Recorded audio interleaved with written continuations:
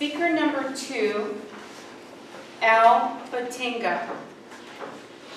What national attraction or tourist site should every American see at least once?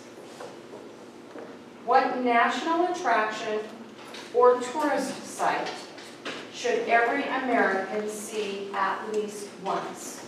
Al Batinga.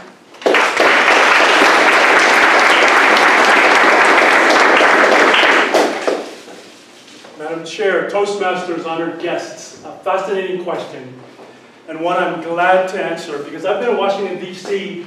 probably 10 times, and I was actually sta- stationed in Quantico, Virginia, which is about 70 miles from Washington, D.C. So on every weekend, we would go to D.C. Every weekend we could, we'd go to D.C.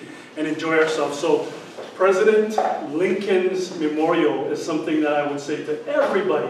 Not only do you want to visit it, but you want to ponder, you want to sit there for many minutes, hours, which I did, by the way, and think about what did he do?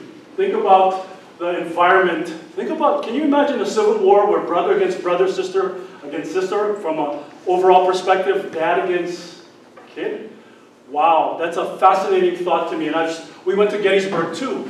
And I wanted to know how could somebody have that much courage to actually pull the trigger, so to speak, on something that phenomenal, that groundbreaking.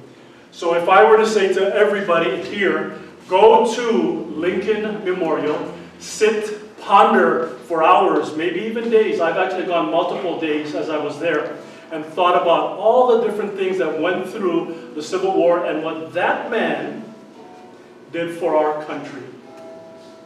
Madam Chair, Toastmasters, honored guests, thank you.